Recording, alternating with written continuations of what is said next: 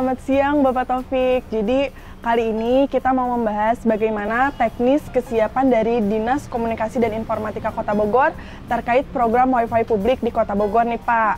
Nah untuk yang pertama ini bagaimana sih Pak teknis penerapan kebijakan Diskominfo sendiri terkait program WiFi publik di Kota Bogor? Jadi begini, kita Dinas Kominfo selaku leading sektor kaitan eh, teknologi informasi terutama eh, membuat kebijakan terutama kaitan dengan pemasangan wifi publik di tiap RW ini.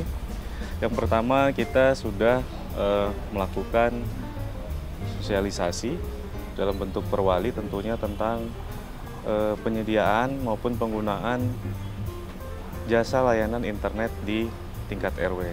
Perwalinya nomor 68 tahun 2020. Di dalam perwali tersebut sudah uh, termuat uh, kaitan maksud tujuan, kemudian uh, tata cara pengadaannya seperti apa, kemudian sampai ke kewajiban penyedia dan selaku lurah selaku KPA, kemudian tanggung jawab antara eh, KPA dan penyedia. Pengawasannya ada di mana, seperti apa. Teknisnya saat ini anggaran sudah diserahkan ke kelurahan selaku KPA, proses asistensi sudah uh, dilaksanakan, kemudian melalui mekanisme pergeseran belanja tidak terduga atau BTT. Sehingga saat ini e, perwalinya sudah juga ditetapkan ataupun pengesahan DPA anggaran kegiatan pemasangan WiFi ini juga sudah ditetapkan.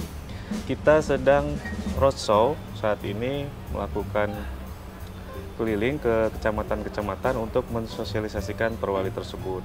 Kenapa kita perlu sosialisasikan perwali tersebut? Karena e, perwali ini yang akan e, mengguidance teman-teman lurah khususnya dalam rangka pelaksanaan kegiatan pemasangan WiFi di tingkat RW. Lalu Pak, bagaimana pembagian bandwidth di hmm. setiap uh, eh, RW ini? Apakah pembagian ini sudah merata ataukah masih berbeda sesuai dengan kategori kategorisasi warga yang membutuhkan? Baik, jadi di dalam perwali tersebut uh, kita me ada pasal yang mempersyaratkan kepada penyedia atau ISP ya, Internet Service Provider minimal 20 Mbps. Artinya apa? Eh, kita memberikan pagu melalui BKAD kepada kelurahan dengan sejumlah 550.000 dengan biaya penunjang 400.000 itu yang 550.000 itu dipergunakan untuk akses berlangganan dan pemasangan. Kita ada tadi kembali lagi ada pasal yang mewajibkan minimal untuk speed ataupun bandwidth itu sejumlah 20 Mbps.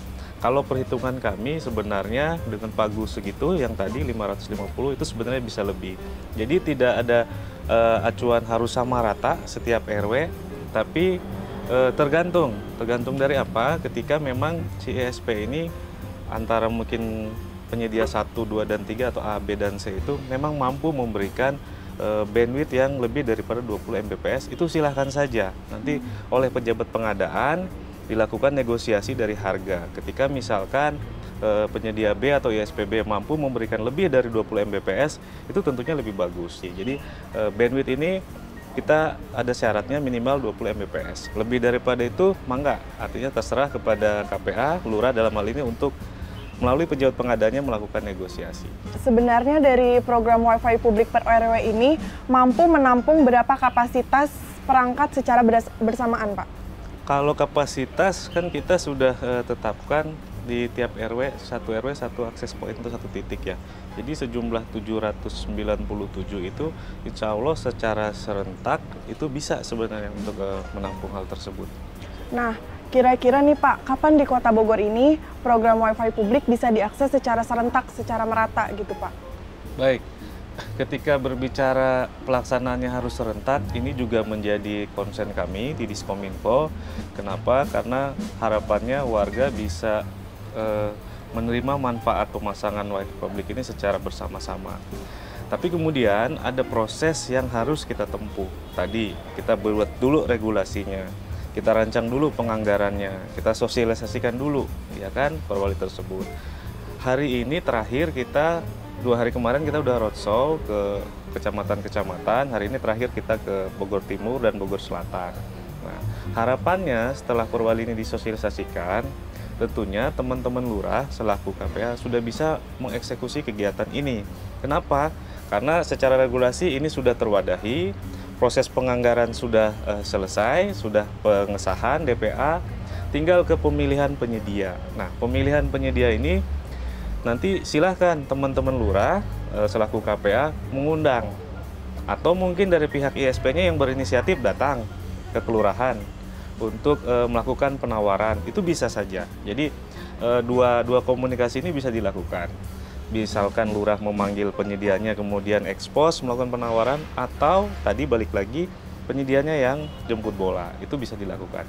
Nah harapannya proses ini bisa dilakukan di minggu depan, di minggu depan sehingga ketika proses pengadaannya berlangsung di minggu depan mungkin di minggu ketiga paling lambat eh, proses launching ataupun pemasangan titik wifi ini sudah bisa dilaksanakan. Oh begitu Pak.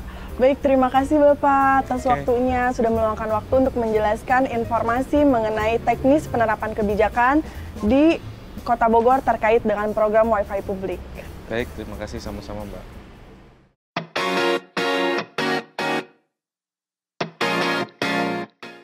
Kembali lagi bersama saya Sania Sama dan Bapak Rahmat selaku Kadis dari Kominfo Kota Bogor.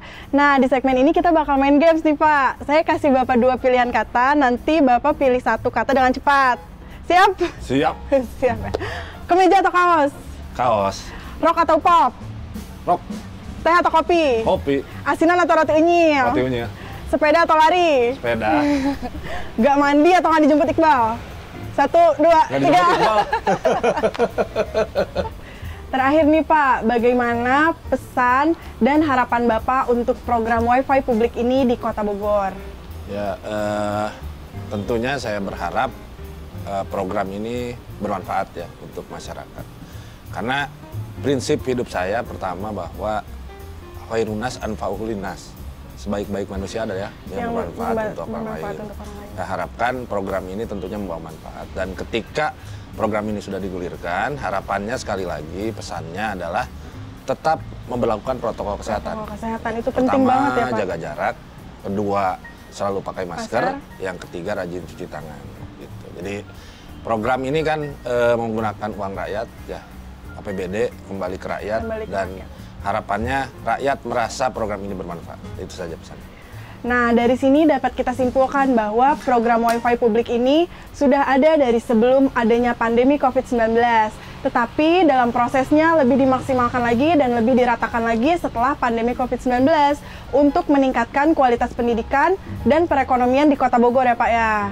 Nah, seperti itu jadi Bogorian. Saya Sania Salma dan Bapak Rahmat izin pamit undur diri terus berinovasi dan berkarya untuk Bogor yang lebih baik. Sampurasun!